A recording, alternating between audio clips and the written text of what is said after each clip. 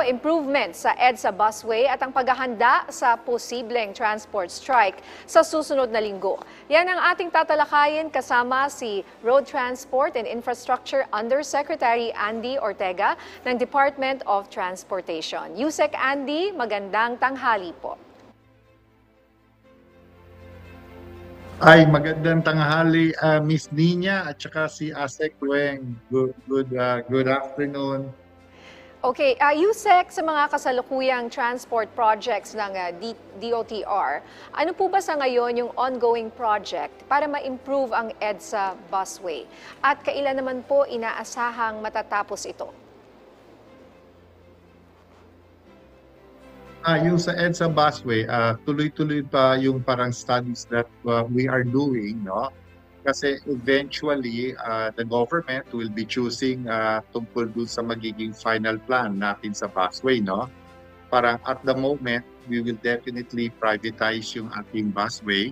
Pero may studies tayo sa uh, DOTR and also meron nag-unsolicited advice, no?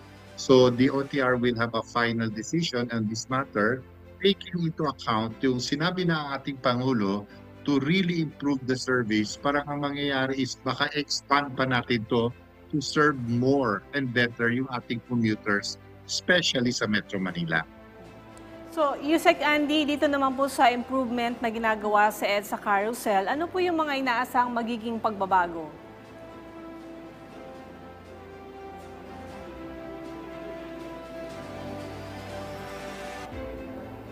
Uh, Weng, I'm sorry, medyo mahina lang ang signal ko. Maybe you could just repeat uh, ng parte. Mm. Sir, yung tungkol po daw sa improvement sa ginagawa sa EDSA Carousel, ano po yung mga inaasahang magiging pagbabago rito?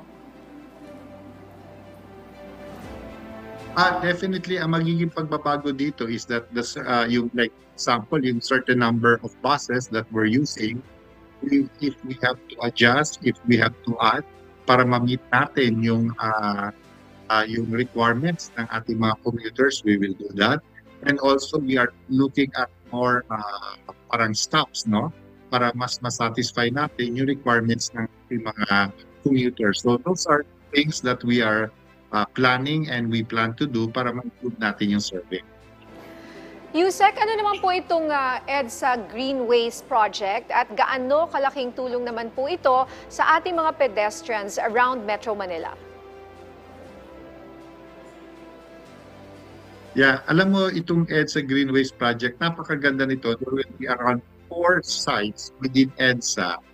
Kasi alam mo yung mga corners uh, na pinag-usapan natin na nasa stop yung traffic dahil may mga dumadaan tayong mga tao, tumatawid, or yung ating mga commuters, what they do is they will uh, take their vehicles para pumunta from one area to another, even do malalapit, ang plan natin dito is i-elevate natin yan para instead of walking sa baba, sa kalye, which would help out, which would have an effect on traffic, doon yan sa taas, it will be parang a walkway na mas safe, convenient, at saka mas maayos, may mga lilim yan, may mga aircon yan, pag will make people move through walking within those uh, areas, but also i-lessen natin yung traffic na nasa baba. So yun yung uh, isa nating uh, magandang project uh, dito sa EDSA uh, here in Metro Manila. So sir, sa ang mga lugar nakatutok itong Greenways Project at kailan naman inaasahang matapos ang proyektong ito? uh, it will take a few years, no? Uh, hindi ko lang masasabi exacto when it will uh, have the final uh, construction finish, no? Pero nakikita natin dito, nandiyan yan sa may, uh, sa may Shaw Boulevard, no? Definitely yan sa may uh, Cubao. And also somewhere dyan sa Quezon City, those are the places that we are finalizing, uh, or rather we will implement the area. But rest assured, uh, once the project will be in full blast, we will inform the public about it. Kasi siguradong baka mag-cause rin po ng traffic pagka nagsimula na po yung construction uh, ng uh, Greenways project na ito. Uh, ngayon, Yusek, sa ibang usapin naman, dahil malapit na rin ang consolidation deadline, ano po ang masasabi po ng uh, DOTR sa ikinakasang dalawang araw na transport strike muli uh, ng grupo sa consolidation naman, uh, Sige sir, go yeah, ahead. ah, nagsalita na yung Pangulo natin that the April 30 is really firm and final na po consolidation. And ah, may mga kunti pang humabol but we are ah, satisfied po sa numero ng ating consolidation. Um, ano po ang ah, paghahanda na ginagawa ng DOTR dito po sa ikinakasang ah, two-day strike ng ah, grupong Sa- Piston? Yeah.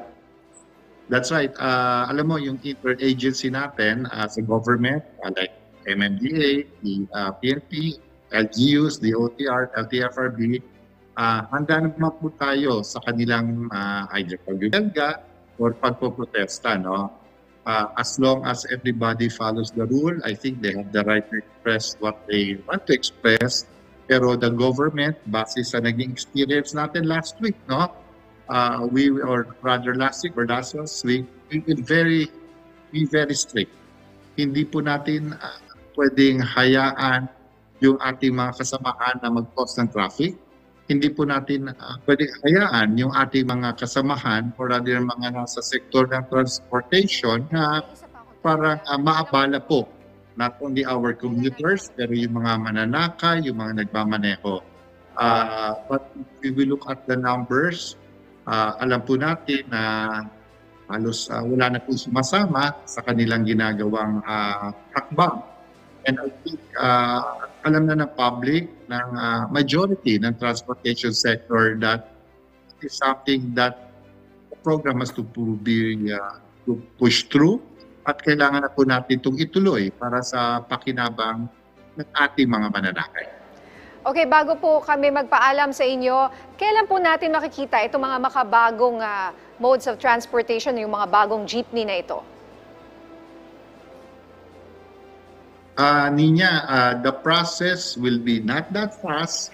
It will be a process na kailangan natin uh, sabayan yung capability ng ating mga kooperatiba at korporasyon to, uh, to acquire these vehicles. Kailangan rin natin uh, alalayan yung ating manufacturers that they can supply the needs of our transportation sector para sa mga i-acquire na vehicles. Definitely, uh, ang time frame natin dyan will be 2, 3, 4, 5 years. At uh, it will be implemented wherein uh, lahat po ay uh, makakabili ng maayos, safe, and environment-friendly na sasakyan. And also for our commuters to finally experience yung uh, dapat nilang ma-experience na convenience and reliability once they take these uh, vehicles or other public transportation. Yusek Andy, balikan ko lang po yung transport strike. Um, hindi po ba, o magkakaroon po ba kayo ng proposal na magpa-work from home na lang ang mga kumpanya or yung government offices since may mga LGU na nagpapa-work from home o yung mga nagsususpende ng klase or nagpapa, anong tawag doon sa schools dahil, sa, dahil na rin sa init ng panahon? Yeah, uh, base sa nakaraang welga, kita naman natin na hindi yan naging successful in terms of uh, having many went on strike. No? Definitely hindi po. Uh, then pangalawa po, but we will allow the LGUs or any offices to make decisions kung ano nakikita nila dapat para makatulong sa kanilang mga empleyado uh, on those days. But uh, siguro po, uh, it is safe to say that we have to do what we normally do on those days. Hindi po tayo pwedeng para po mag-hostage sa mga bagay na gustong gawin ng ibang grupo. Meron tayong buhay, meron tayong mga trabaho, meron tayong pag-aaral or rather schooling na kailangan na gawin ng ating mga anak or ng mga estudyante. It, it will be a normal day but the government po will be there to provide whatever are needed kung may mga mangyayari po. But, uh, you know, uh, uh, it's something that we have to accept na talaga pong majority ng transportation sector has embraced the program. And it is something that has to be done by the government with the people para po i-pursue na natin yung ating maayos, maganda na transportation service po. Mhm. Okay, good luck po. Uh, Yusek Andy, maraming salamat sa inyong oras. ah, Road Transport and Infrastructure Under- Undersecretary Andy Ortega ng DOTR.